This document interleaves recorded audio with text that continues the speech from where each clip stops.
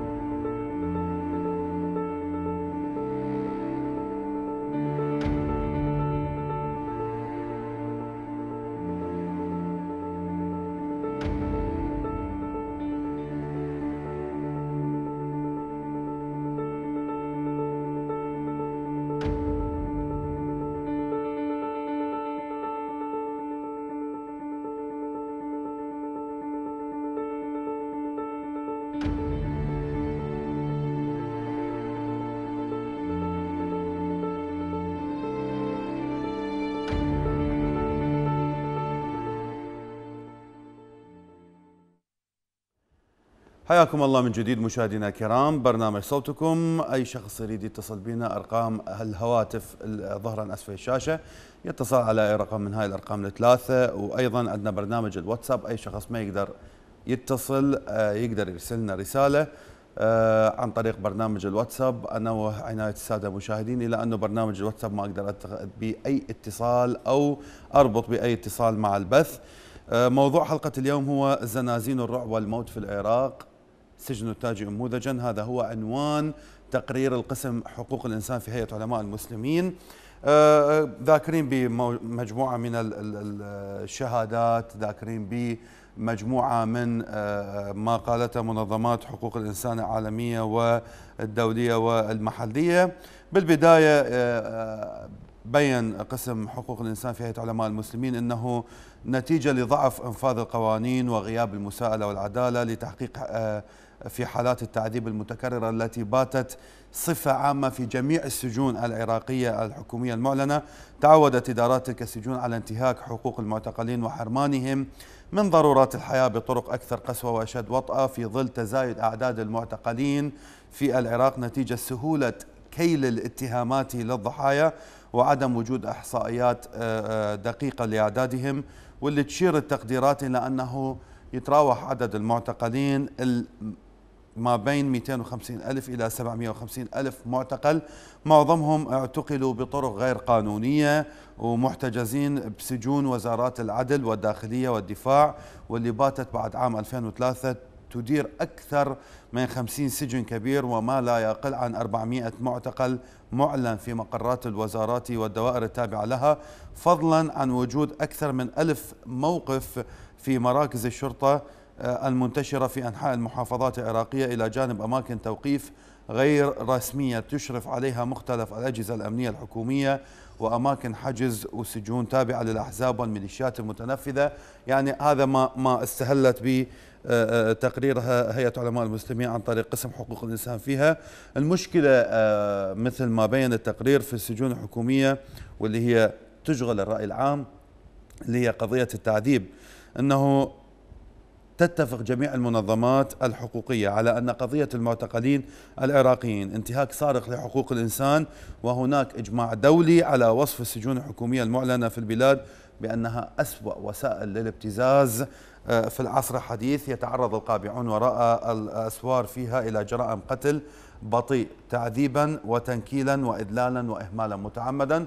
آه، كلكم تدرون أنه السجون العراقية خصوصا سجن التاجي عبارة عن عن عن مراكز للتعذيب.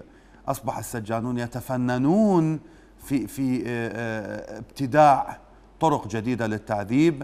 آه، التقرير اللي بين يدي بين بعض هذه الطرق نتيجة ال ال ال ال الشهادات اللي استقها أو اللي اعتمد عليها هذا التقرير. بداية ويانا اتصال من تركيا أبو أيسر حياك الله. أهلا وسهلا أستاذ شلونك أحوالك؟ عليكم السلام ورحمة الله بخير تفضل. أستاذ العفو هي المنظمات الدولية تعرف تعرف بس شنو الغاية ما تتدخل؟ نعم. ليش هي أمريكا؟ ما تعرف السجون مكتظة بالعراق بالأبرياء بالناس البسطاء؟ اتركنا عن داعش. بس ناس أبرياء هواي لموهم من المحافظات اللي يقولون إحنا رحنا للتحرير هم راحوا للتدمير. راحوا جابوا أولاد الناس وذبوها بالسجون وكذا. إحنا نعرف بزمن النظام السابق إذا أكو سجناء كانت أكو زيارات تصير لهم من منظمات وتعرف وضعهم شنو. ويصير إعفاء عندما تكون مناسبة يصير عفو عام. حتى على المعدوم يصير عفو عام بذاك الوقت. مو بس المنظمات أخي أبو أيسر حتى أهلهم كانوا يقدرون يزوروهم يعني نعم, نعم. السجناء نعم اللي موجودين عن طريق إذا تذكر قبل فترة السجناء دزوا آه، آه، مناشدة إلى قناة الرافدين حتى أهلهم ممنوعين إلى من زيارتهم. ممنوع هم ما يخلوهم يعني يساوموهم بالاف الدولارات. يساوموهم حتى عود على أساس راح نطلعه وراح نطلعه. شفت منا أربع خمس ست دفاتر وخلاهن بجيبه وكذب على العالم وخلاهم يروحون وما يدرون ببنهم شنو شنو وضعه وين بيا سجن جوا القاع فوق القاع. والتعذيب هذا اللي مستمر يعني لأن هم من طائفة واحدة يقول لك ذولا خلي إحنا آه نأذيهم وندمرهم. ما ما ما, ما عندهم هم غاية إسلامية ما عندهم. يعني لا يعرفون الإسلام شنو ما يعرفون كل شيء يعني. هاي مجرد يأذون يريدون يأذون هالعالم هاي بالمناطق السنية. هاي بجرف الصخر يا ما دفنه وجثث. هاي ذاك اليوم لقوها جثث مال سجناء. نعم. يطلعوهم يعدموهم ذولا الحشد الشعبي وغيره وغيره يتبجحون بقتلهم يعني.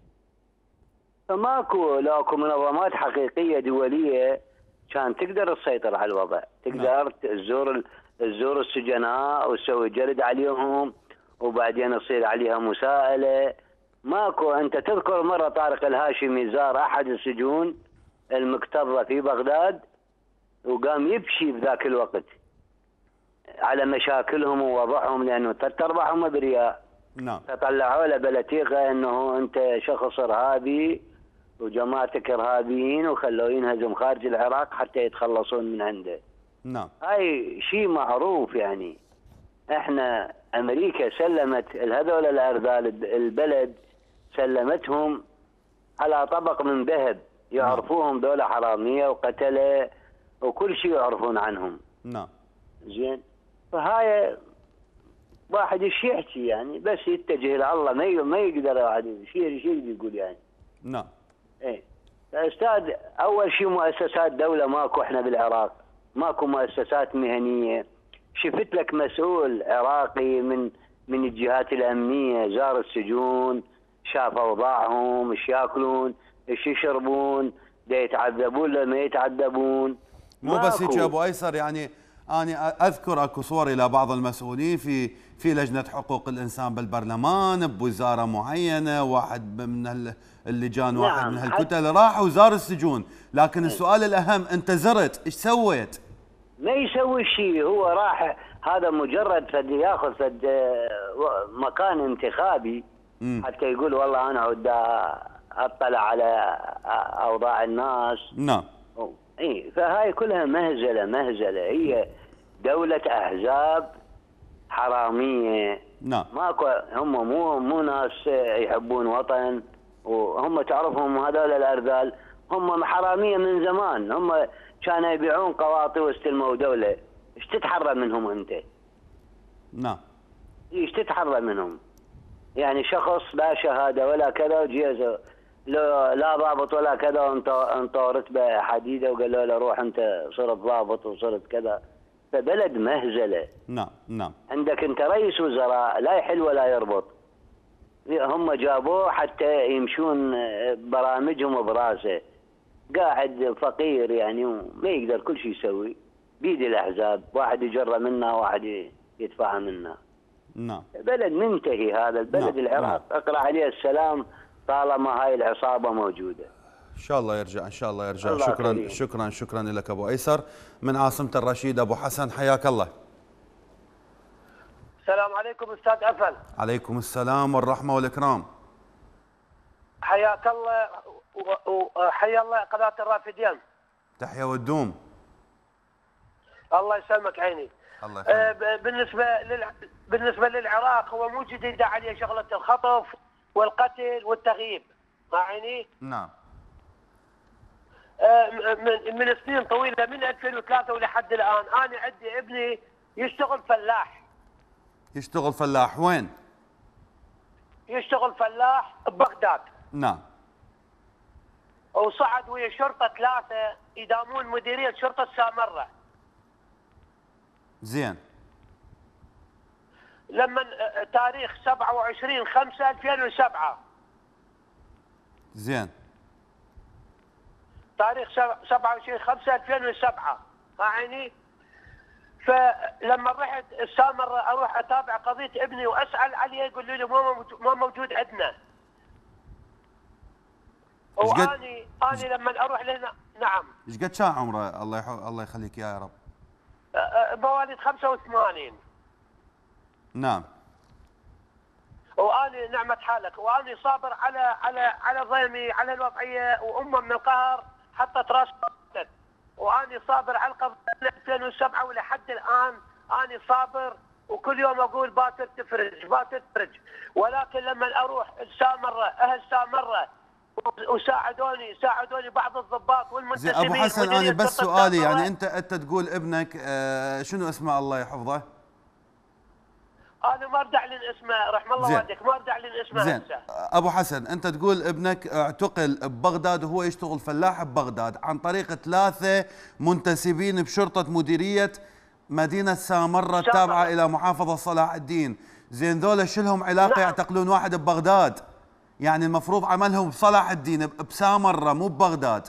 هاي المدى أفهمها. بس اسمح بس اسمح لي اسمح لي. هو هو خطفوه بسامره مو ببغداد. آه تمام. خطفوه بسامره ويا ضمن ثلاثة شرطة وسيارة خاصة. مهم.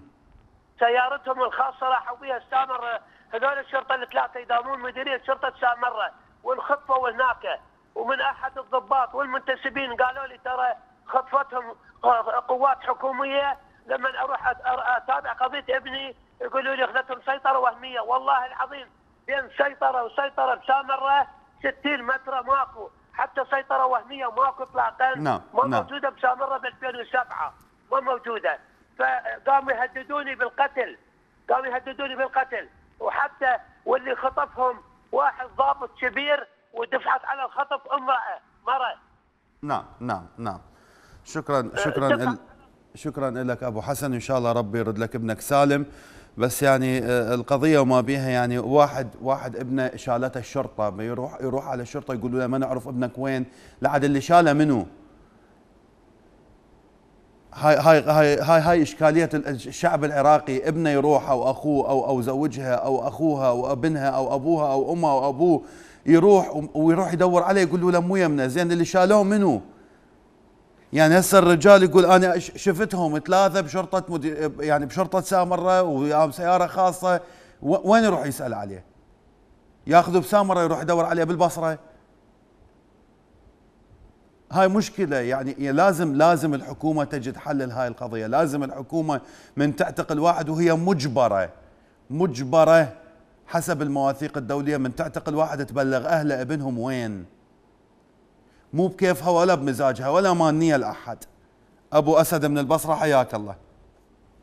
السلام عليكم أبو أسد. أفل شلونك عليك؟ السلام والرحمة والإكرام. حييك وحيي برامج- برامجك وقناه تحية والدوم. الشريفه حلوة. أبو أستاذ أفل أنت تقول هاي الحكومة هي هاي مو حكومة هي عصابات والله. نعم. عصابات قطاعين طرق حرامية. مشهدين وشافوا وش راح يصيرون يعني اكو مثل يقول الشاب ما شاف وما أريد أكمل بعد أني. بس أني أبشرك عندي رؤية. نعم. أبشرك. أكو آه، بالقرآن يقول بشر القاتل بالقتل. نعم. هذه مع شيء معلوم العالم كله يعرف. هذا القران يقول لك بشر القاتل بالقتل. نعم. أهل السنة ما عندهم هذا الشيء يعني يعني ما ما كتاله روح كتله شنو هسه ذولا يدوروها حرشة. يعني أنا بعدين أطلق لك حسن يدوروها حرشة. شيء يدبر تحت سيارة يصير بياخذ كم فلس فصل. على من فلان عمام ويجيبوا يخابروا جماعة وجماعة في على صفحة ويأخذون فلوس من أبو السيارة كم فلس يقول لا بروح أنا فضينا هذا هو. هم وشرطة المرور وشرطة النجدة كلها يسموها مساومة عشائريا. يعني ما ما مو كلهم. ما بريهم يعني ما نجيهم كلهم. مو كلهم لا. هاي وحدة. وموضوع السجون. إيه. السجن السجون هسه تروح حد يهزوها؟ ما حد يهزوها بس النساء. ولو يخلوهم لو ما يخلوهم. تيجي طاوة يحمون بيها يركبون بيها تركيبة صغيرة ما يخلوهم يعني أبسط مقومات حياة السجين ما عندنا صحيح. مجرد فراشه وفراشه مليان قمر ما يطلعوا بالشمس في الأبد والأمراض مليتهم وطبابة موجين عندهم. هاي وحدة. اثنين من منبر منبرك؟ منبرات الدين. من اليوم تحذر عشيرة المعامر.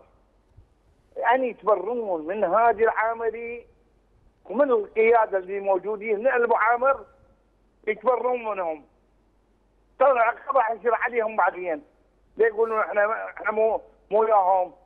هسه شاكين بها ابو عامر لأنه هذا هذا الديل هذا العامري و وذاك الاخ آه، أبو مهدي الاخ الله الفياض من العامري شاكين بها من من منبرك توجه. تقول يابا ترى المعامر أنتم إذا ما تبرون من ذولا من هسه رسميا ترى باكر أنتم مستهدفين. مستهدفين من الشعب. واشكرك هاني نعم شكرا شكرا شكرا لك أبو أسد. طبعا آه، هيئة علماء المسلمين قسم حقوق الإنسان في هيئة علماء المسلمين بتقريرها اللي سمتها زنازين الرعب والموت في العراق وأخذ السجن التاجي نموذج آه، أخذت ببعض الشهادات يعني آه، ما ذكرت اسمائهم حفاظا على أرواحهم وأرواح أهاليتهم. حسب المعتقل عين سين اللي يبلغ من العمر 26 سنة وخص قسم حقوق الإنسان بالهيئة بهاي الشهادة يقول إنه أنا نج- قدرت انجو بروحي بعد أن دفعت والدتي مبلغ مالي كبير لأحد ضباط السجن اللي تجاوز طبعا سجن التاجي هو ده يحكي لأنه آه، وصفت سجن التاجي بين أكبر سجون العراق وافظعها واسوأها سمعه بعد سجن الناصرية المركزي جنوب البلاد. يقول والدتي دفعت مبلغ الأحد ضباط سجن التاجي 35 مليون دينار عراقي ما يعادل تقريبا 30 ألف دولار وأطلق سراحي بعد ذلك. واني تم اعتقالي بدون أمر قضائي وقامت القوة اللي داهمت بيتنا بقتل والدي بدم بارد أمام أفراد عائلتي وأسرتي. و- وحكى عن انتهاكات جسيمة وجرائم بشعة وتعرض لها معتقلين سجن التاجي. ارتكبها أغلبها ضباط ومنتسبين داخل السجن. يعني أنا ما اريد أفت- ما- ما مدى أفتهم شنو هاي الرغبة اللي عند الضباط وعند السجانين في القتل وفي التعذيب وفي يعني شنو المتعة انه أنت تلزم واحد تعذبه وهو بريء؟ شنو المتعة انه أنت تلزم واحد ما عليه تهمة سوى أن تهمته إنه ينتمي إلى منطقة أو ينتمي إلى طائفة غير طائفتك أو ينتمي إلى إلى فكر سياسي غير فكرك أو يدين بالولاء إلى بلده وأنت بالولاء إلى بلد آخر. فقط هاي التهمة هي أدت إلى ممارسة أشد أنواع التعذيب وأنكلها وحسب التقرير يقول السنة اللي فاتت ازداد التعذيب بالسجون إلى أضعاف مضاعفة. أبو حسن من بغداد ويانا حياك الله. السلام عليكم أخوي فل عليك السلام والرحمة والإكرام. الله يبارك فيك. يبارك بعمرك. أخي هي ال- الله يبارك فيك. هذول ال- الحكومة كلها يعني باعتبار هي مو حكومة هي عصابات أو هذه معروفه هي. هذول أتباع إيران. نعم. فهم منو قاتل إيران؟ أكثر أو ال- أو ال- خصوصا الأم- الأمريكان. قاتلهم ال- المناطق الغربية يعني بصورة عامة. يعني كل المناطق الغربية قاتلت المحتل قتال شرس فهم ذولا بياخذون ثارهم يعني أي واحد أي سني أي سني. بالعراق اعتبره قبضه يعني ال- ال- العجم. إيران وإسرائيل وأمريكا نفس الخط. لا حد يقول لي بين أمريكا تضرب إيران هذا شيء يعني مستحيل مستبعد مستحيل فهذول بياخذون ثارهم شلون القاتله قاتلوا المحتل؟ فدي دي يهينوهم يذلوهم. لو تعرفون ال- ال- المرأة لما تروح على رجلها شوف شوف تشوف مذلة. لما أحيانا توصل له وما توصل له. وبفلوس بابتزاز. يعني نعم. لما طب من دا- بداية السجن إلى أن توصل. يعني فد مذلة وإهانة. يعني حتى الإنسان اللي شاذ. ما يسويها. فهم دول أعداء الإسلام يعني بصورة عامة يعني بكل الأحوال. يعني عندهم يتفننون بالتعذيب. يعني أنا مرة من المرات أنا اعتقلوني والله عذبوني تعذيب مصاير. يعني شوف اللي صور؟ شو شوف اللي يعني الأمريكي قاعد يعني قبالي ويا مترجم يقول له راح اقعدك حيقول لي راح اقعدك على جهاز كشف الكذب. قعدوني بالسنتين وبعدين قعدوني بال- بالأربعة وبعدين قعدوني بال 12 نفس الحكي. يقول لي أنت كذاب أنت ما تحكي الصدق. قلت له أنت دولة عظمى ومتطورة وواصلين مرحلة بالتكنولوجيا وهاي عندنا كرسي كشف الكذب. يقول لي قلت له أخي أنتم أنتم دولة عظمى ولا عندكم تكنولوجيا ولا عندكم إنسانية. أنا قلت لهم هيجي هم عذبوني تعذيب مصاير يعني ملخوني تملخ بس الله بقدرته خلصني منهم. فهم دول بياخذون ثارهم بقدارتهم. نعم. فهم يعني ناس مو مو بشر مستحيل. نعم نعم. شكرا شكرا شكرا لك أبو حسن. أبو حسين أيضا من بغداد حياك الله اخويا السلام عليكم أستاذ عسل عليكم السلام والرحمة والإكرام. أستاذ عسل في عندي سؤالين من فضلك. تفضل. والجواب أريده من كل المشاهدين هم يجاوبوني وأول ما تجاوب أنت. نعم. من الذي من الذي يدفع الجزيه اليوم السنة ولا الشيعه الأمريكان؟ من الذي يدفع شنو؟ يدفع الجزية، الجزية للأمريكان من يدفع السنة لو الشيعه؟ نعم. والسؤال الثاني كل كل أهل الأنبار والفلوجه وهم وعلمائهم دائما يروحوا للأردن ويعرفون هذا بالأردن هو خائن، هو أبوه خائن وجده خائن. ورافع العلم اليهودي، انقطع الاتصال. طيب يعني إحنا إحنا بدنا نحكي على آه، أبو حسين أنت سؤالك الأول من الذي يدفع الجزية اليوم إلى الأمريكان السنة؟ ام الشيعة آه، لا السنة ولا الشيعة العراق. ال- الأمريكان من جوي جوي جوي ما جوي لا يجيبوا لك ديمقراطية مثل ما أعلن جورج بوش ولا جوي يبنوا لك دولة بالعكس كانت دولة مؤ- مؤسسات وهدموها أول شيء دمروا الجيش ثاني شيء دمروا البلد ثالث شيء حطموا البلد. رابع شيء اقاموا حروب بمدن وعندك حرب الفلوجة الأولى والثانية مثال ودليل على اللي سووه بالناس والقتل والأبرياء ومجزرة حديثة ومجازر كثيرة بشمال العراق وبجنوبه آه، سووها الأمريكان وال- والمتحالفين وياهم والتحالف اللي جوي على رأسه. فهم ما جوي اللي دا يدفع الجزية لا سني ولا شيعي العراق نفسه. لأنه كل إطلاقه أطلقتها الولايات المتحدة الأمريكية على العراق راح يقصوها من جلد العراقي. أما سؤالك الثاني أنت انقطع النص آه، آه، ما ما افتهمته يعني. أنت إيش دخلنا إحنا بدول الجوار أو أو أو بحكومات دول الجوار؟ إحنا إحنا بدنا نحكي على السجون والمعتقلين والتعذيب اللي دا يصير داخل السجون من الحكومة إن كان سني ولا شيعي ولا صابئي ولا يزيدي ولا مندائي ولا أي طائفة. إحنا ما خصينا طائفة من الطوائف بفعل هذا الشيء. إحنا بدنا نقول الحكومة والسجانين لكن يا سيدي العزيز إحنا لما نقول مخالف إلى طائفتك لأنه حاليا في في سياقات الانتماء إلى الكلية العسكرية أصبحت الطائفة والقومية جزء وما كانت موجودة سابقا. كانت فقط إنه عراقي من أب وأم ويدخل حتى ما كانوا يسألون هاي الأسئلة.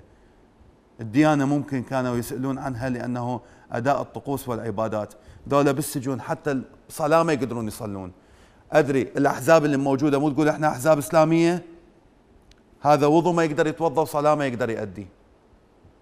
سب وشتم وقذف على على المقدسات وعلى الصحابة وعلى آه، شو اسمه آه، وشتائم طائفية ومعان بالضرب وبلاوي سوداء من أحزاب تقول إحنا إسلاميين. زين انت تباوع على يا أبو حسين تسألني سؤال عن عن دول الجوار. اريد أسألك سؤال إيران شنو اللي فادت به العراق بالإيدز اللي دزتها بمعجون الطماطه لو بالإيدز اللي دزتها بالأدوية؟ لو بالميليشيات اللي قامت تقتل وتصلخ وتعذب؟ لو بحروبها بالوكالة اللي قامت تندار بالعراق؟ لو بتدمير ثلث مساحة العراق؟ بيش فادتنا إيران؟ لو يدفرون البيبان ويطبون. أم مريم من بغداد حياك الله. أم مريم انقطع الاتصال أعتذر منك. أم ضياء من بغداد تفضلي. نعم. آه، ألو السلام. آه، آه، ألو السلام عليكم. عليكم السلام ورحمة الله وبركاته. العفو أخوي دا, دا أناشد صوتكم عندي ولد اخويا اثنين. مفقودين. مفقودين. انفقدوا من 2000 نعم. 2000 و 2016 27 4 اثنيناتهم بنفس اليوم؟ أه لا آه، بيناتهم ثلاث أيام. زين. وين؟ أه على طريق أه حلة محاويل حله محاويل وخذوهم أه مشت امهم خطيه بيهم وطلبوا من عندها فلوس 20 ورقة. 20 ورقة. على الواحد على واول بداية انطتهم. نعم. إيه.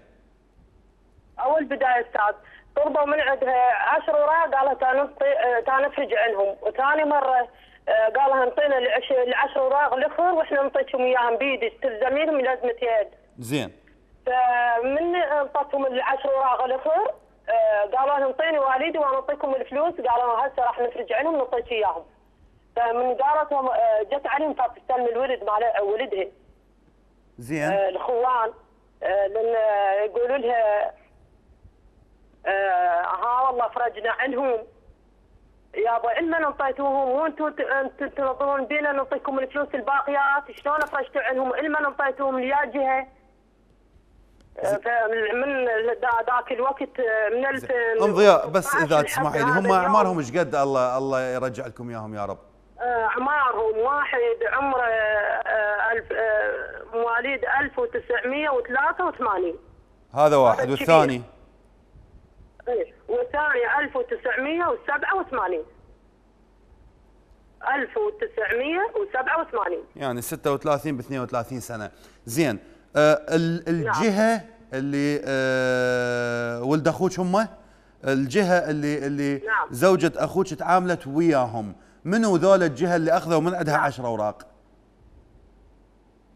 من جهة يعني جيش آه، على بسجن الحلة بسجن الحلة يعني؟ الحلة نعم سجن الحله ما أدري يعني يعني خطيه المره تعبانة ما قدرت تسولف قالت لي وصلي لي صوتي وبلكت الله وصل على الجو وسمعوك كل الناس إن شاء الله. هسه لا ندري بيهم لا ميتين ولا عدلين ما ندري بيهم بيا بيا أربع نعم. سنوات إحنا ما ندري بيهم وين ما وين. نعم نعم نعم. أختي ام ضياء آه ربي يبرد قلب أخوك وزوجته على أولادهم. وصل صوتك وصوتها آه سمعوه الناس لكن يعني آه هاي هاي هاي جهة الابتزاز اللي إحنا نحكي بها وقسم حقوق الإنسان حكاها بتقريره. إنه تردون تعرفون ولدكم وين اعطونا فلوس. ورا ما يعطوهم الفلوس والله إحنا ما ندري بهم وين. زين ليش أخذتوا الفلوس؟ ليش يعني فوق ما ماخذين ولدهم وفوق ما قلبهم محروق على ولدهم وعلى أهلهم وعلى على ناسهم وحبايبهم تجون تبتزوهم. إضافة اللي إلى إلى ناس طبت للسجون وهي صغيرة بالعمر والسجانين سحبوا من أهاليتهم بلاوي فلوس ولما يطلع يا يطلع مدمن مخدرات يا يطلع مخبل من التعذيب يا يطلع ببلوى ومرض من الأمراض. نتيجة سوء المعاملة وسوء الإدارة بالسجون. يعني آه، آه، بواحد السجون إنه شخص يقول أني أني انتقلت من سجن إلى سجن ما أعرف اسم السجن شنو وأنا اعتقلوني ثلاث مرات. يعني وحاكي بالتقرير إلى إلى تفاصيل مخيفة بالتعذيب. يقول أكو إدلال وأكو أكو شتائم طائفية وأكو آه، كيل من من الضرب والتعذيب. نتعرض له من الضباط والمنتسبين إضافة إلى عناصر الحشد الشعبي أو الميليشيات اللي يقتحمون السجن كل ليله ويسوون حفلة على على السجناء بالتعذيب. ويقول حتى الصبح وأكو هناك حالات إعدام ميدانية هو يقول أنا أذكر ثلاثة واحدهم أعدموه قدام المعتقلين. زين وشاهد الاخ يقول يقول أنا اعتقلت أول مرة وعمري 14 سنة حدث. 14 سنة يعني حدث. ما يسجل بسجن. أكو أكو اكو اكو هيئة احداث اكو اكو, أكو اصلاحية احداث لكن حدث تدخلوه بسجن بسجن التاجي أو بابو غريب أو بسجن الناصرية يعني بلوة. بعدين اني اريد اوجه رسالة قبل ما اخذ اتصال ابو حمزة من ديالة. السجن هو مركز اصلاحي مو للابرياء للمجرمين بعد التأكد من اجرامهم. اكو سلسلة من العمليات لازم تمشون بها يا الحكومة العراقية والقضاء والشرطة ومراكز الاعتقال. إلى أن تتأكدون من إجرام هذا الشخص بشهود بجريمة بدلائل ملموسة يلا يودع بالسجون مو بريء الذبة بسجن سنة وسنتين وعشرة وعشرين. أبو حمزة بن ديالة حياك الله. السلام عليكم اخويا عليكم السلام والرحمة والإكرام. اخويا مسألة السجناء ما سجناء نعم. أحكي لك على مسألة السجناء آه، بدياله نعم. اكو شخص قلت آه، قبل شوية قلت دافع 30 مليون أو 35 مليون. صح مو صحيح؟ شخص انت قلت له استوى. فأنا أقول لك كلمة أنا وأخويا انسجنا أخويا؟ ألو؟ أي وياك وياك. اي أنا وأخويا انسجنا يعني بيت بيوتنا اثنين وبساتيننا وقياعينا كلها بعد إيه. انقطع الاتصال أبو حمزة. يعني آه التقرير مال آه هيئة آه علماء المسلمين عن طريق قسم حقوق الإنسان وضح إنه التعذيب اللي دا يصير بالسجون إجبار السجناء على التعري والوقوف أمام النزلاء الآخرين عراة لإشعار السجين بالخزي والعار ما يؤدي إلى حالة من الإحباط النفسي لإجبار المعتقلين على التوقيع على ما يدونه المحقق والاعتراف بجرائم لم يرتكبها. تعرض المعتقلين إلى ربط الأقدام والأيدي بأوضاع غير مريحة لفترات طويلة. عزل السجين اللي يتعرض للتعذيب عن جميع الموجودين من السجناء والحراس قبل موعد آه، المقرر للتحقيق بأوامر مباشرة من المحققين. فضلا عن الضرب المبرح بالعصي والخراطيم الكبيرة والدعس على رقاب المعتقلين حتى يفقدوا الوعي مرورا بالصعق الكهربائي والتعليق من الأكتاف لساعات طويلة والإيهام بالغرق وحجز آلاف السجناء داخل غرف معدة أصلا لتخزين الأسلحة والذخيرة نتيجة عدم استيعاب السجون للأعداد الكبيرة من المعتقلين. يعني اللي دا أقرأ ما شاء الله ياخذون شهادة دكتوراه من السوربون بطرق التعذيب. سجن غوانتانامو على على على مود الإيحاء بالغرق أمر الرئيس الأمريكي السابق بغلقة وما أعرف انغلق لو لا قرأت تقرير إنه إغلاق سجن غوانتانامو بمراحله الأخيرة لأنه استخدموا بالإيهام بالغرق ما شاء الله بعد شنو الفنون مالتكم؟ إيش راح تطلعون للسجناء؟ يعني أغلب الشهادات اللي موجودة من السجناء اللي اللي اللي أهاليتهم دفعوا فلوس وطلعوا يقول لك أنا ما مسوي شيء. واللي واللي اللي طفل عمره 14 سنة وماخذيه. وباقي أربع سنين وخمس سنين وست سنين بالسجن. معتقل هو هو طالع وخارج العراق خارج العراق خايف يذكر اسمه لقسم حقوق الإنسان بهيئة علماء المسلمين. يقول لا أنا طلعت أمنت بس أنا أخاف على أهلي وناسي. على أهلي وقرابتي لا ينقتلون مرعوب يذكر اسمه. يقول له إحنا إحنا تعرضنا لانتقام وبطش من القوات الحكومية والسجانين والميليشيات داخل السجون. تعذيب تجويع حرمان من الدواء تعرض لبرد الشتاء وقيض الصيف تعذيب نفسي آه، شتائم مسبات آه، آه، سب الصحابة والمعتقدات منعهم من أداء الصلاة والمعتقدات واداء أركان الإسلام أو أركانهم الدينية أو تقاليدهم الإسلام. يعني منع من كل شيء. أدري المصلي كافر ممنوع يصلي؟ آه، عفوا السجين كافر ممنوع يصلي؟ السجين يعني مو بشر ساد له الشبابيك وممنوع التهوية تفوت له؟ ما يتمرض هذا السجين وتعطيه ادويه إضافة إلى ذلك يعني السجون يجب الفصل ما بين السجون أكو سجن سياسي أكو سجن لكبار المجرمين أكو سجن للمخدرات أكو سجن أنتم خلط يا لوز حاطهم. أم أحمد من بغداد حياك الله. عبد الله. أم عبد الله من بغداد تفضلي. أحمد. هلا أختي أم أحمد تفضلي. الله يبارك فيك. بالنسبة لشغلة السجناء هي بس رب العالمين إلهم ما إلهم كل أحد. لأن أني زوجي اعتقلوه عشر سنين. وكل ما أني أروح آه، أواجهه. طبعا وضعه الصحي بس الله يعلم بحاله. وين معتقل هو زوجك؟ ماشي. كان طبعا هو ما خلوه مكان ما خلوه يعني ببغداد. وهسه وين هو؟ شيء بالأبوكة وبعدين خلي أوصل لك الفكرة. بعدين راح للناصرية ودفعت آه، آه، دفعت دفترين. 20000 ماشي دولار. وخليت نعم. محامي ماشي دفعت دفترين وخليت محامي. وقالوا ها هي وإن شاء الله راح يصعدوه محكمة ومن يصعدوه محكمة يعني يطلع. وانتظرت عشر سنين. أخير شي يوم من الأيام خبروني توفى من التعذيب. لا إله. إلا الله. نعم. إي والله. زين يابا شلون؟ مو يعني إحنا يعني المحامي بعدين رحت اني أدور على المحامي؟ حتى المحامي أصلا اختفى يعني. زين. أختي أختي يعني الله يرحمها يا ربي. سؤال آه، آه، أنت هم بتزوج وهم دفعتي فلوس وهم أنا قالوا لك راح يسوون شيء وبعدين الله دفع. يرحمه توفى من التعذيب. إي إي إي. شنو تهمته هو كانت؟ أصلا اي أول آه هو إرهاب غير. طبعا هم أول بالبداية هو ثلاث سنين تشابه أسماء تشابه أسماء. وبزعنا من هاي السالفة. اخر شيء قالوا حطوا محامي. حطينا محامي.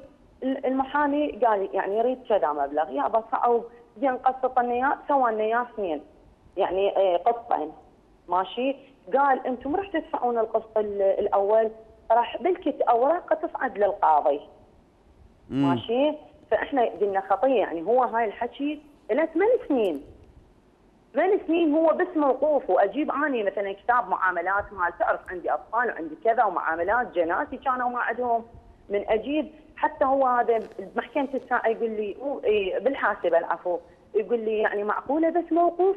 قلت له هذا الكتاب وهذا الكتاب لحد الآن أنا موجود عندي قلت له هذا الكتاب قال يعني هاي صار لك كم سنة بس موقوف؟ قلت له والله بس موقوف شنو تهمته؟ قلت له كانت آه، تشابه أسماء وبعدين آه، قولتهم طلعت أشكال وألوان هاي هيك هاي كذا دفعنا دفعنا هذا المبلغ على مود بس إنه يعني يعني ت- تنحسم قضيته. يا أما آه، إفراج يا أما اعدام يا أما سجن لأن هو تعب تعب حيل.